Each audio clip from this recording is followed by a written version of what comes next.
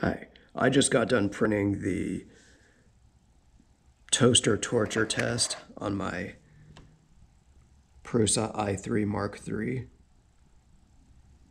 Very good results, I have to say. Toast part works. These work. Sides. All of these are free except the very last one. And this the point two is pretty tight, but this point one is fused. It does not move.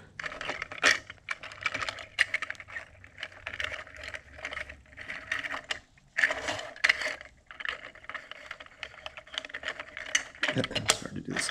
On this side, I'll get as close as I can here. Um, looks okay, not perfect.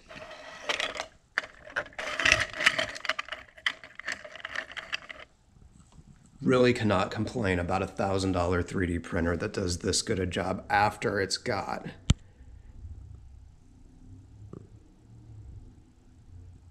seven hundred and seventeen days of print time.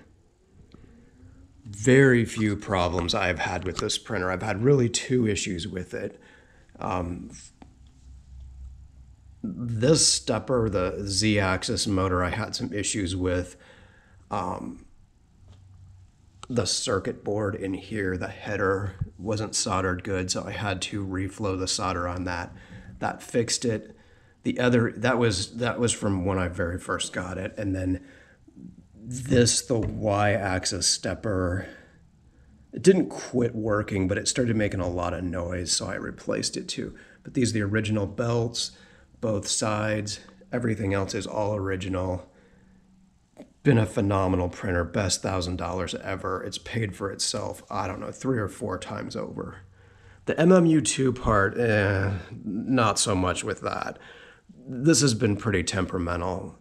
Um, this is an early production thing. They sent that to me for evaluation, and it's been it's usable, but it's it's pretty finicky. The rest of the printer, I, I, cannot say enough good stuff about that. I can't say enough good stuff about these guys who did this uh, this model. This is really clever. This is really, really neat. Yeah.